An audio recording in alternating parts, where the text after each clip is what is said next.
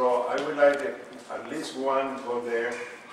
The other one that I really don't want to miss is, I don't know if it's still open though, the store of uh, Mission in the corner of, it's about, about four blocks east of Lankershim. It used to be a hardware store there, they used to call it Roscoe Hardware Store, now it's a store, it's a store for Mission. Uh, Is there, Hope at the Valley's there? Their food bank? Valley, yeah. Yeah. Our food bank? And, uh, and the, if the store is open, there's people in and out constantly there, and then it- around there, and and around the store, is a parking lot, there is always a lot of men there, but they're homeless.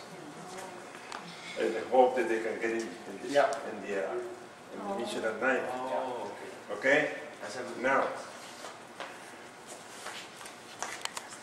got Fernangeles Park, I just went by there, and not too many people there. There's another park in Arleta Park, it's out in Sheldon and, uh, and north of, uh, uh, is that? No, It's a- it's just about a mile, maybe less, right? You know that place? Yeah. Uh,